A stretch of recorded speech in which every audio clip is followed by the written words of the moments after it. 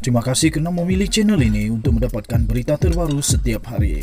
Bagi anda yang pertama kali berada dalam channel ini, sila pertimbangkan untuk tekan butang like, subscribe dan komen video ini untuk penambahbaikan pada video akan datang.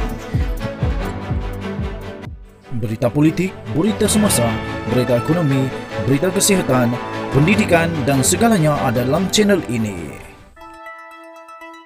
Salam sejahtera Malaysia, selamat petang. Berita terkini daripada malaysiakini.com bertajuk Tak ada rombakan kabinet selagi saya tak umumkan.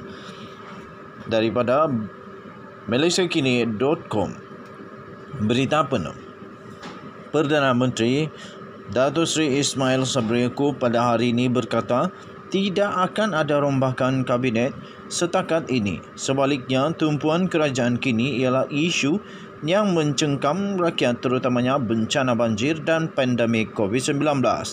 Menyifatkan isu rombakan kabinet hanyalah satu spekulasi semata-mata, dia berkata perkara itu tidak sepatutnya timbul memandangkan negara masih dilanda bencana banjir dan COVID-19 yang belum selesai.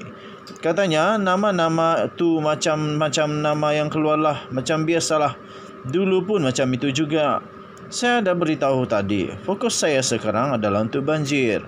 Jadi saya tak nak bercakap pun soal ada ke tak ada rombakan kabinet. Setakat ini selagi saya tak umumkan, tak adalah rombakan kabinet katanya. Sekian berita, salam sejahtera Malaysia. Bye-bye.